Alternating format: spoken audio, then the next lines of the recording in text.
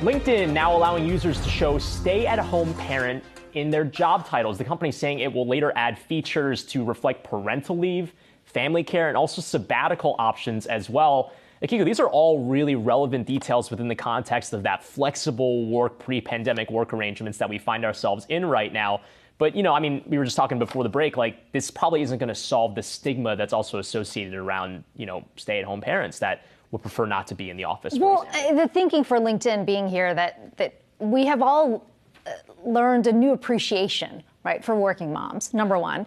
But some moms just struggle to juggle it all. I mean, you've talked about this in the labor force, how many women dropped out. And so this is at least LinkedIn's way to sort of acknowledge that it is okay to have a bit of a break in your career, if you are a stay at home mom, if you've opted to quit your job as well. I mean, I just wonder how employees still see that though, because there has been a stigma attached for a very long time for right. women who say, I'm going to take time off because I, I want to take care of my kids.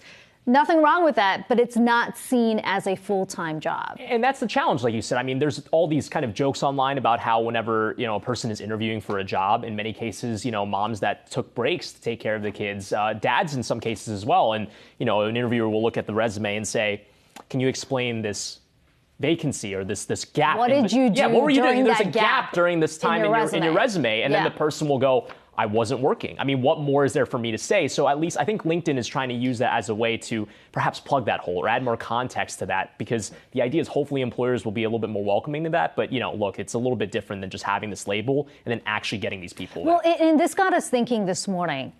If women, and we're talking about stay at home moms, were to be paid a salary, how much would that salary add up to?